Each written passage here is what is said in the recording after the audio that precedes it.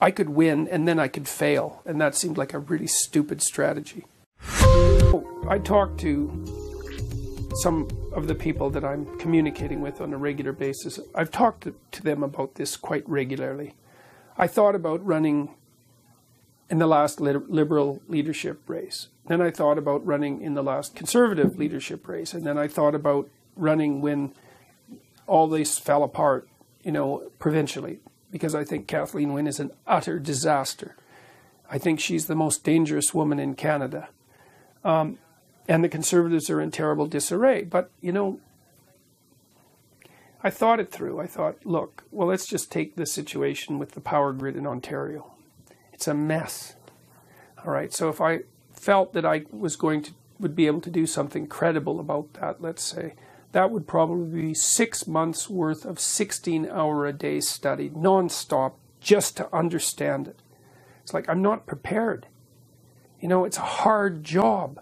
If you if you take it as a job, if you're serious about this, you have to understand it. And like the hydro grid is just one small corner of the complexity of of Ontario, let's say, I thought, well, I could throw my hat in the ring and it would it would make for an interesting political it would make for interesting politics.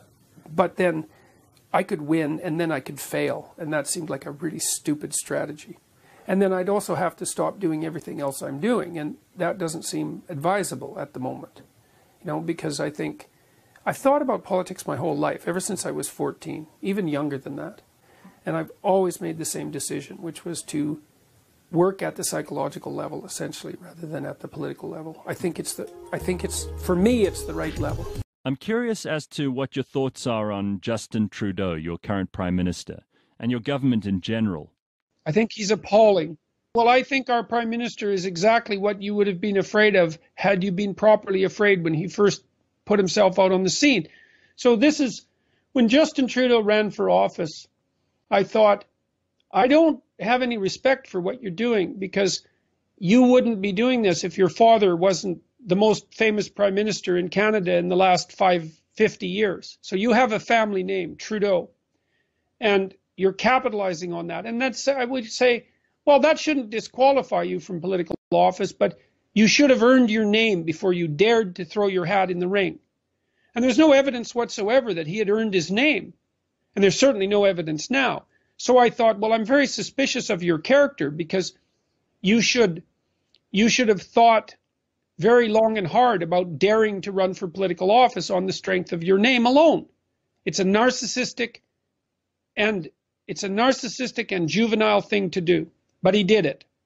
And then I thought, okay, well, it was time for a new government in Canada. It was time for a change. And despite the fact that um, it was an error in judgment to run in that manner. Maybe you'll be credible. But then the first thing he did, and there was no excuse for this, and it set the tone for everything else that has happened, is he formulated his cabinet and he made it 50% women, despite the fact that only 26% of the elected representatives were women.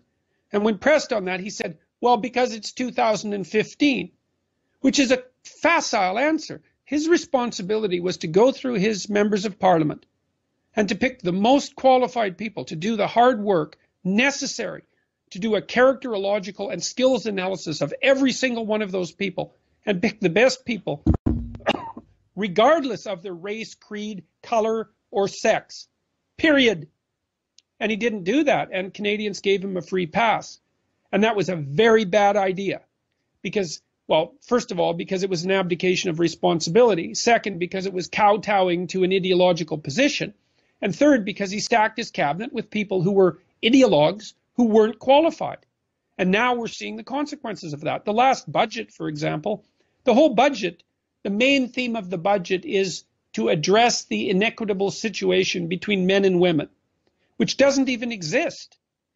So he's twisted the whole budget to solve a fictional problem with an ideological strategy. It sounds very similar to what's going on here, where it's all about kind of targeted demographics and um, and putting people in a position because they're women or because they're black, not because they're competent in that necessary position. And this has real world consequences for many people in South Africa. The last nine years have been anything but sterling for the average South African, and particularly bad for the poor. Um, are you very optimistic about South Africa and what kind of a future we have? I'm I'm very pessimistic about your country. I think you guys are in for an absolute catastrophe over the next 10 years. I hate to say that, but this last bit of legislation with regards to the farmers' lands, that's really, really, really not good. What do you think of the stories you've read about South Africa in the, in the news in the last little while? It seems that we have um, we've cracked the nod in, in some quite important foreign papers when it comes to this discussion about expropriation of property without compensation. Well, I'm I'm I was absolutely heartbroken, I would say, when I read the news from South Africa this week. I think that I think it's politically expedient to do what your government is doing. I think it it appeals to the worst in everyone. Um, I understand that South Africa has extremely serious social problems and that inequality in South Africa is very, very high. And it's not obvious at all what to do about that. And it's clear that it's suboptimal. But to, to, to demolish the rule of law as a precursor to solving that problem only means that it's going to get way, way, way worse before it gets better. I mean, isn't it reasonable to think of Zimbabwe as an example? Is that an unreasonable comparison? Well, Venezuela. I mean, the same people who would implement stupid, uh, well, that's... proven policies of destruction in South Africa would probably want to use Venezuela as an example, even though it's a lamentable, demonstrable failure in every which way. Uh, it doesn't seem that there's any ability to learn the lessons of history among leaders who are hell bent on enforcing their ideology on the populace. Well, it's. I think it's a catastrophe, and I, I, I I don't I can't see how South Africans can be sleeping easily in their beds these days. So Dr. Peterson, good to have you on the program. Thank you very much. With the popularity of your book and your YouTube lectures, you're obviously tapping into something that nobody else is tapping into at the moment. What is that? It's it's partly it's partly responsibility. I don't think that people have talked to young people about responsibility in any real sense. Not in not and being on their side at the same time for like 50 years. And that's just too long because most people find the meaning in their life through responsibility. Isn't it fair to say, though, that some people, through no fault of their own, have tough lives and that no matter how much person, uh, personal responsibility they take, that that won't change? So, for example, yes. you and I, we've had a lot of good fortune in our lives. We've been born to, uh, you know, reasonably um, affluent, peaceful countries. Mm. Um, you know, I have a, a, job that I have worked hard at, but I've had lots of luck. You have mm. written a book uh, and done a series of lectures that have become embraced mm. around the world. Some people don't get lucky breaks. Like That's that. for sure. Some people just die, and horribly. Yeah, life's rough, no doubt about it. And if good luck comes your way, then you should be grateful for it. And if happiness manages to manifest itself, you should be grateful for that too.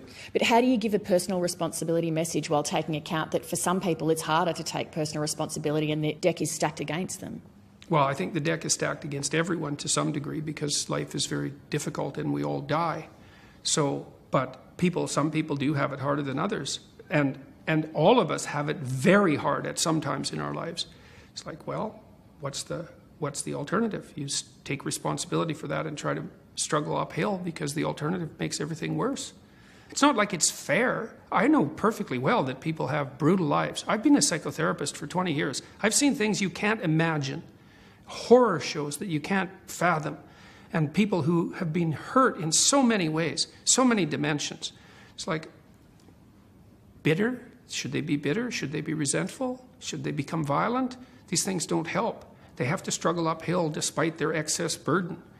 And it's, it's responsibility, not guilt. You know, it's not necessarily their fault. That's not the point.